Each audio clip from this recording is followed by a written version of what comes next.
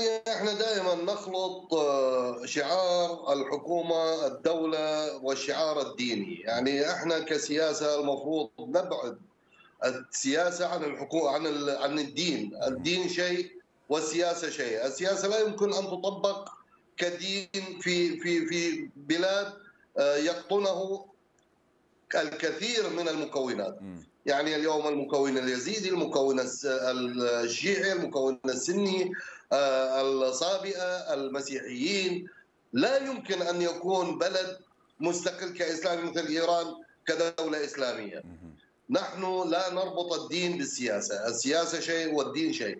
آه، أما أن يجر آه، الشعب بعواطفه الدينية كتيار شيعي من أجل كسب المقاعد هذا شيء غير صحيح. يعني اليوم الخطابات الدينية شيء والخطابات السياسية شيء. على سيد الصدر أن يتخذ الخطابات السياسية بعيدة عن الخطابات الدينية. طيب.